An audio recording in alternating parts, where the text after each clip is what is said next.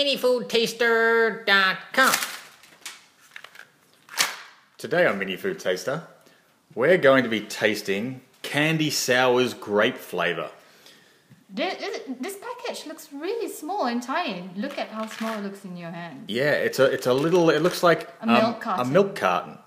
Um, but I guess um, even though it's quite small in my hand, there's one thing that we've got to do, and that's um, just check that it's a certified mini. Yep, definitely. I All think right. without a doubt, Yeah, that's certainly it's mini. certainly mini. All right. so what do we know about it? It's um, it, there's not too much information on the packaging apart from Well, I can see it with all the zeros down there. It's definitely full of nutrition. yeah, it's very very nutritious. Um, it's made in Mexico. I think we can see there in the fine print. If you can see it, Yeah. Um, but just yeah. trust us. Yeah, trust us. It's made in Mexico. So candy sours, do you think it'll be um, chewy or hard candy, or would it be like those fizzy candy? I don't know. I think there's only one way to find out, and that's to pop her open and uh, and, and have a look. All right, all right. So I'm just gonna open it like a milk carton. Oh, It's it's even got the words to open. Ready? Yeah. Okay. ah, all over the shop. It looks like poo, Okay, that's one way of looking at it. but purple. Okay, so they're purple in colour. Um, they look like they're quite solid. I, I think I'd like to cut one to see how it looks like inside. All right. Where's our knife? You got it? Okay. Oops. All right. Feels a bit hard and a bit slippery.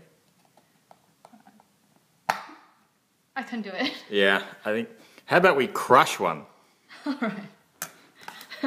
this could end very badly, guys. Oh my god. Brute strength. Yeah. All right. Oh, I think that's that's worth the the effort. Yeah.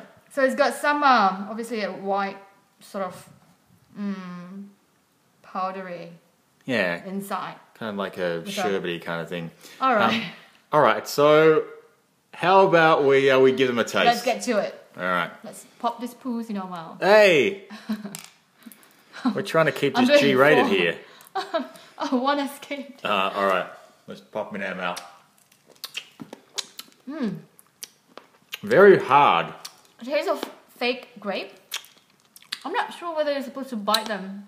Um, You may- sucking, sucking. You may sweet. lose a tooth. Um.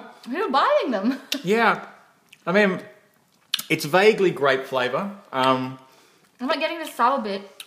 Or It's maybe, maybe it just needs to go past that hard exterior. I've bitten a couple. I'm not getting any grape at all.